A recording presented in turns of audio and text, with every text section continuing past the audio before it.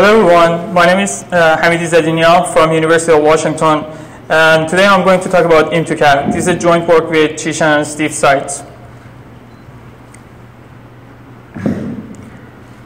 Given an input RGB image, we want to create the 3D CAD model of the scene depicted in the image in such a way that the produced CAD model is as similar as possible to the input image.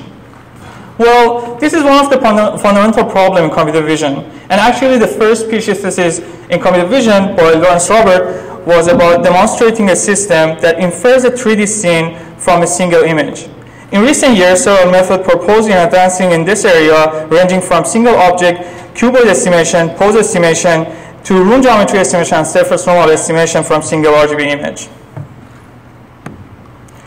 We took an analysis by synthesis approach where we start the rendering of the initial estimate of the object and room and optimizing for the arrangement of the object in the scene by rendering the entire scene in simulation uh, with new parameter vector and matching it with the input RGB image. Instead of starting the scene optimization from scratch, we use object detection and pose estimation as well as room geometry estimation uh, for the, as a proxy for the reconstructed scene to initialize the scene optimization.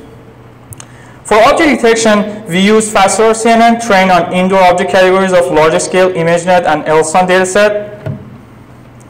Then we render around 9K 3D CAD model from ShapeNet with different azimuth and elevation and using the RoI pooling layer of our trained network in a Siamese architecture to find the best match object pose and style from the ShapeNet. These are the results of top five line CAD model retrieved from ShapeNet for a given object detection bounding box. Last two examples show failure cases for visual feature confusion between different poses with similar shapes and L-shaped sofa estimation because of heavy occlusion of the sofa with the table. For room geometry estimation, we train a fully convolutional neural network on a large scale LSUN dataset for labeling different faces of the room and use it as geometric feature to rank room layout hypotheses. Here are some examples of Im2CAD geometric feature prediction and room layout estimation compared to previous works. For scene optimization, we use cosine distance between coarse to fine convolutional feature of rendered scene and input image as objective function, and using gradient-free optimization called COBYLA to minimize the objective function.